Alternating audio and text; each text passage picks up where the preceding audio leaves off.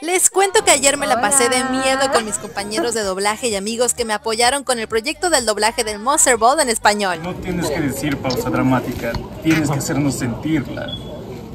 Gracias, Drácula. Como sea. ¡Fuego! Confiésate y libérate. Bien, nos descubrieron. Estuvimos controlando Dus toda la noche. Incluso recreamos algunas Yo no escenas. entiendo ninguno de tus garabatos. ¿Qué te hizo mi pizarra del misterio? Me señaló como sospechosa la desaparición de mi padre para empezar. Hablada con Claudine. Sé quién lo hizo.